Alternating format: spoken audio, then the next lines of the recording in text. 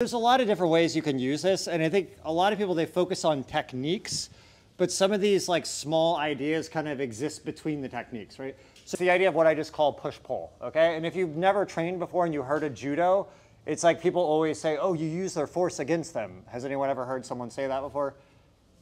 No, yes. maybe not, okay. People say that, before I trained uh, any martial art, people always say, is that the one you use their force against them? And then when you train, you kind of lose sight of that, but it's actually incredibly powerful, right? So, so the basic idea, we're just gonna try it with just a collar pull, okay? If he's here, just kind of be strong and, and. Yeah, see if I pull, just kind of lean back. Yeah, see, it's hard to pull him, right? So if I'm here and I just push a little bit and I feel any resistance back towards me at all, like that, when I pull, it's gonna rip him forward, right? If I'm here and I pull and he's leaning back and I push, it's gonna be very dramatic, okay? Now, you don't need a ton of force for them to be, uh, to be able to make this effective. Really, like if you think about it, if they're resisting, then when you pull, there's like a negative force against you. So let's just say, I'm gonna make up arbitrary numbers, but let's say they're at negative 50 backwards, okay? And you pull 50 forward, that's a net of zero, okay?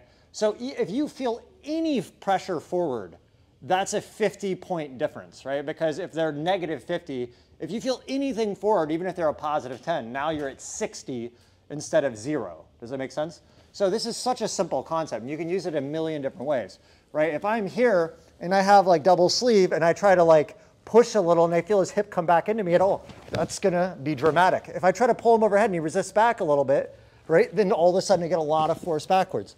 So when you do stuff like this, it can create, like when someone watches me roll, it may look like I'm really explosive or really fast, and it's, it's not the case. It's just that I'm timing it well, okay? So just as a practice, just get with your partner and just like, uh, just kind of have your hands like this. Yeah, okay. And see, what I'm going to do is I'm going to push, and then when you feel the resistance back, rip. Okay? When you pull a little and you feel resistance, push. Try to just try to get a sensitivity for that. Okay? After that, we're going to go into how you can use this in double sleeve, collar sleeve, in a lot of different ways. Make sense? All right, guys, let's go. What are there? Tons of different ways we can use this. So the first one we're going to do is just going to be a loop choke. So go on both knees.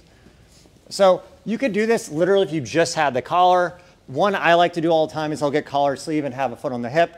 And what I'm gonna do is I'm gonna push into him a little bit, right? And again, the trick with using push-pull is not to over push or over pull, right? I'm not, I don't need a ton of force for him to make this work, right? I just need enough because when he resists, then he goes from like I described before, like 50 to zero. That's most of your gain is going to be from the 50 to zero. It's not going to be his weight coming into you. It's that the fact that he's coming into me means there's zero resistance.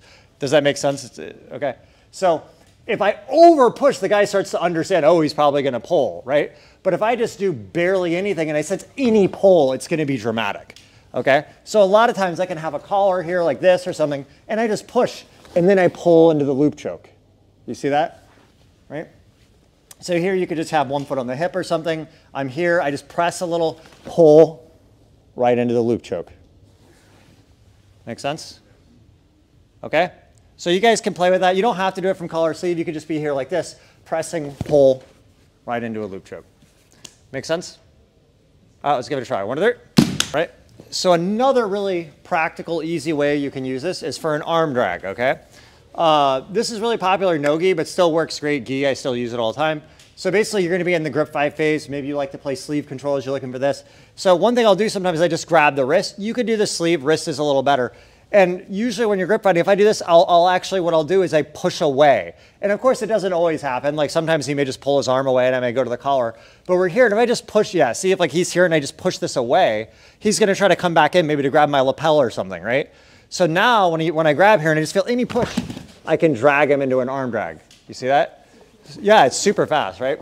So, um, not, so what I'm doing is I'm I pull and then I'm connecting to this, so just go super slow. So I'm gonna go here and then this, see this massive overextends. I catch here and I like to kick the knee out if I can because that adds like an extra layer of flop, right? Then what I wanna do is immediately connect my chest to the back, right? Remember guys, same bolo, crab ride, whatever. Once you connect your chest to the back, he can never get his back to the floor. Now if he tries to like roll over his right shoulder or something, it's like I'm already connected onto the back, right? If I catch here, right, and I lock in and he starts trying to stand up, see, I'm following on the back. That's what you want to do. Lock the chest to the back, right? So we're here one more time. Right, like this, boom, here, see? Boom, right there. Catch the hip, lock in. Make sense? Yep. Right, even if he's standing, go ahead and stand up.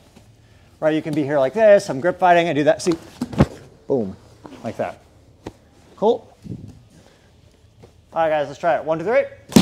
Guys, just a couple other thoughts here about the arm drag. Just Ben, he has his hands up, right? I'm moving around. I press it away. Maybe he's trying to grab the lapel or something, and I use that to pull. Make sure you kick the leg out, right? Especially if they're standing. So go up. We'll go really slow, right? When you hit the arm, uh, you don't even do that for now. But when I drag this, it's it's hard to pull him down. But when I kick the leg out at the same time, that's what breaks the posture to make it hit. So you really have to time that right to be able to get that, right? So again, he's up here. I push a little bit. I feel the hand come back in and that's when I pull, right? Big idea, so just go right here, perfect. Right, once you create the pull and the arms pass, you just wanna latch your chest to the back somewhere, right? Like I always talk about, if you can get your chest in the back, just follow that like your compass. Now it depends on how he is. Sometimes maybe I could be all the way on the upper back, but if somehow he was slightly more turned away and locking in on the low back as possible, that's totally fine too for now. Because you see, once I'm here like this, say even glue my ear, I'm attached to the back. So now if he starts standing up, so standing up, you see, I'm gonna, I'm either gonna follow, pull him down or try to stand all the way up if you can, right? Or I'm gonna literally follow him all the way up, but I'm attached to the back. If you get focused on anything else, like where's my hand grip go, or where's this, where's that, and you lose sight of this, you can have all these hand grips, right? And then he turns towards me with his upper, see, and he slips out like that. So you have to make sure whenever you're doing some form of a back take, whether it's a crab ride or whatever, you're just trying to get the chest to the back. And if you follow that, like if I'm like this and he rolls over his right shoulder, you see my body is still under him, right? That's all back taking is. All the other leg positions can vary. Just keep the chest to the back. Okay, so let's look at another version of this push-pull. So go up. So now we're gonna be in double sleeve, right? So I'm gonna be here like this. So anytime the guy's just kind of static here and I can't quite get movement, I just start creating kind of momentum. So let's say I'm here and I can't get any movement. I could push with my De La Riva hook a little bit like this. And usually they'll kind of do that, right? And then you see I can start creating that overhead. So then he resists back. See, and then now I start extending him, then I start going this way a little bit, right? Go back. So here I start pushing the De La Riva hook that way and he's gonna lean that way a bit. You see? That's how you start creating movement. If you just sit there and you try to do the sweep in isolation, right, then it's, they're very static. But it doesn't, like I said, it doesn't take any pressure at all. You don't need some dramatic over push from the guy. You just need a hair of movement. And that's enough to eliminate all resistance, okay? Just to reiterate again, the purpose of the push-pull is not because they're gonna push so much you, that, that, gives you all the force. It's just that any amount of, of push or opposite force means zero resistance, right? So I'm here, right? If I already have the foot on the hip, a really obvious one is I can push. If I feel any resistance, I go overhead, right? Or I pull and then I can push back. But even when my leg is trapped here, right? See, I just try to pull a little and he resists back. Like, uh, don't let me take you. Yeah. See, now look, I start getting momentum there, right? See how easy that is to use? So I want you guys to feel, sorry, right? I want you, I want you guys to feel how you can time that because I think that's a missing link for a lot of people playing positions. They're just doing the position, but they're removing kind of the finesse of it, right? This is something that I think judo is exclusively this.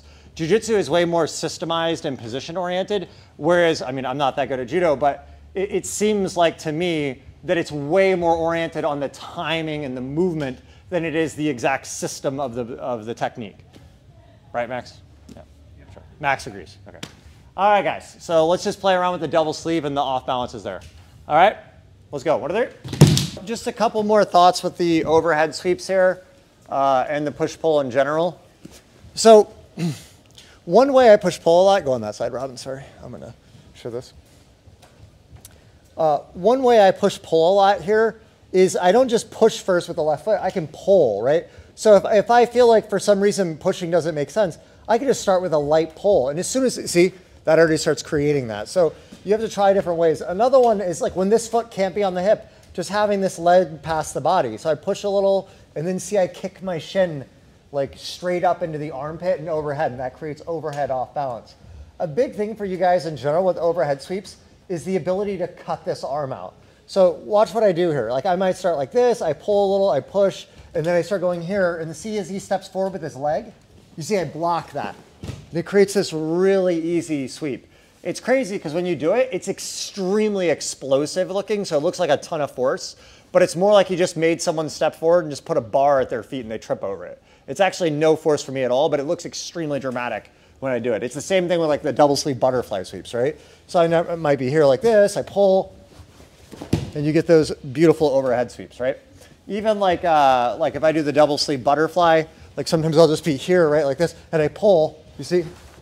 And you get that really nice flick. So you wanna master that ability, right? Especially if you play double sleeve all the time because they can't grab anything. You control where their hands go. It's very easy to hit these sweeps. Okay, so let's just play with that just a little bit longer and then I'm gonna let you guys free train. All right, any questions? Can you show again the first sweep? Which one? The one that you Ah, the, yeah.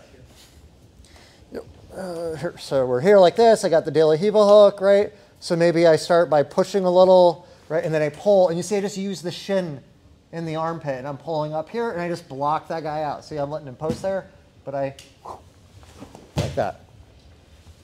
Make sense? All right, let's go. One, two, three.